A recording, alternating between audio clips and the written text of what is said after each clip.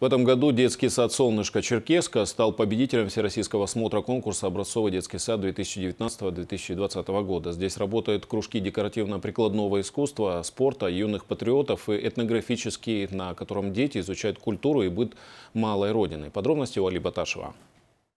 Очень вольные, очень смелые. Они всегда еще с давних времен селились по границам нашей любимой Родины – и защищали ее от внешних врагов. Узнать об истории своей родины с малых лет на занятии, где казачьи посиделки сменяются увлекательными играми, песнями и танцами.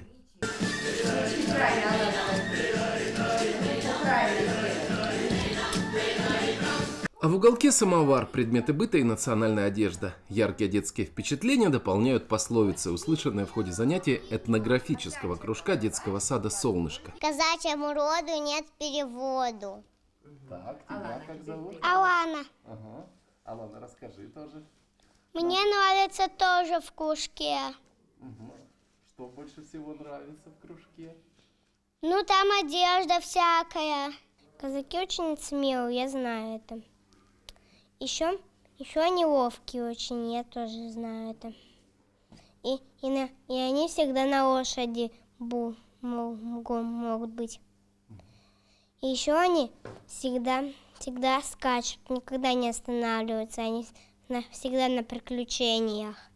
Детский сад «Солнышко» – структурное подразделение Центра образования номер 11 Черкеска. Он создан 7 лет назад. В этом году стал победителем Всероссийского смотра конкурса «Образцовый детский сад 2019-2020 года». У нас есть кружок этнографической направленности, который рассказывает о всех народах, которые проживают на территории Карачаева-Черкесии, а их, соответственно, культуры. То есть с маленького мы знакомимся с этим. Есть у нас экологический кружок «Юные колята», и есть, конечно, кружок, где мы занимаемся творчеством. А как же без творчества? Мы любим и лепить, и рисовать, и, конечно, делать различные поделки.